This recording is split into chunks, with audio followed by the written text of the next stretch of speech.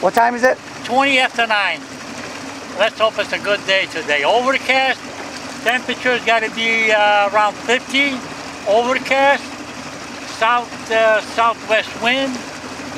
That's all you can expect. Not more than that. That's- What What's the water temperature? And water, uh, let me double check, but uh, uh, 38.2 water 38.2. temperature.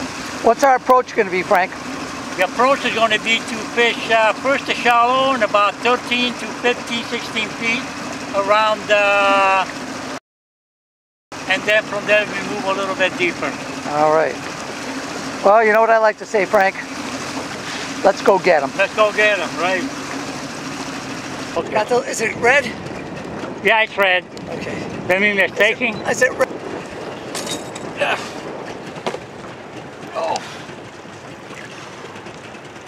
Did you measure it, the length? What do you say, about 43, 44? yeah. Big fish. There he goes.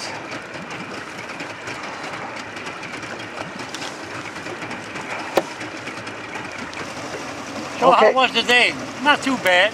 What do we got? One fish, One fish, nice fat fish. nice fat, nice, uh, 44 inch, just under 25 pounds, right? Yeah. And that's, it took us all day, huh? All day. Yeah. We got him at 3.15 uh, in the afternoon. Yeah. And we're getting off the water and it's uh, Get, yeah, at uh, what, uh, 4.30. 4.30 off the water. Yeah. Well, hey, nice job, Frank. Yeah, well, nice job. You you got the fish, not me. Well, uh, I want, I'm modest, Sucking Frank. gas. I'm modest. Okay. You're modest. Yeah. If you were as modest as me, then you would have got the fish. but hey, thanks for taking me out. I really okay, appreciate You're it. welcome. Awful Anytime. nice of you. Awful nice of you. All right.